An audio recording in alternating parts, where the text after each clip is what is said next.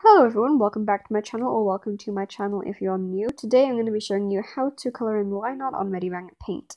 So firstly you're going to want to have a layer with your line art. So go into the layers menu here. And you're going to want to make a new layer and draw on it or if you already have a layer with your line art then you can just use that. I'm going to import an image of line art quickly and then show you how to color it in.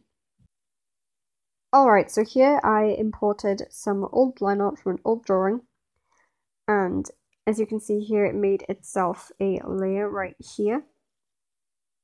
Now to actually color in line art, what you're going to want to do and make sure that the line art is just line art. If you're drawing then it's just a line art layer and if you're importing an image of old line art, make sure that it's transparent. So you're going to want to go up here into the menu and click Protect Alpha. This is a feature that essentially only lets you colour in things that you've already drawn on the layer. Now get whatever colour you want and just go over line art. And you'll see here that you can colour it in. A fun thing to do with line art sometimes, in my opinion, is to grab an airbrush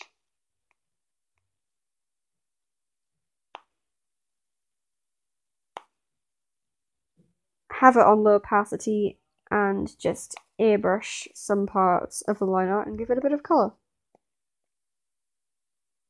Of course you don't have to do this, but I think it's quite fun to do. You can also do hands if you wanted.